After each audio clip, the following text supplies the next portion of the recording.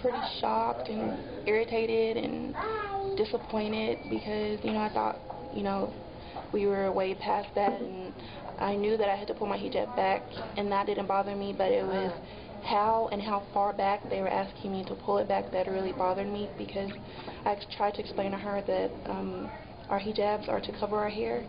and I felt as though as far as I pulled it back was efficient enough for her for a person in general to recognize that it's me if I you know if I had to show an ID or something like that and she proceeded to keep asking me to pull it back further and further where my hair was showing and I was very very agitated. CAIR, the Council on American Islamic Relations, got involved with this case uh, because, you know, it's our right to um, have uh, reasonable religious accommodations. And in circumstances like this, we call DPS. And we talk, talked to them about this, that it happened at a Norman tag agency,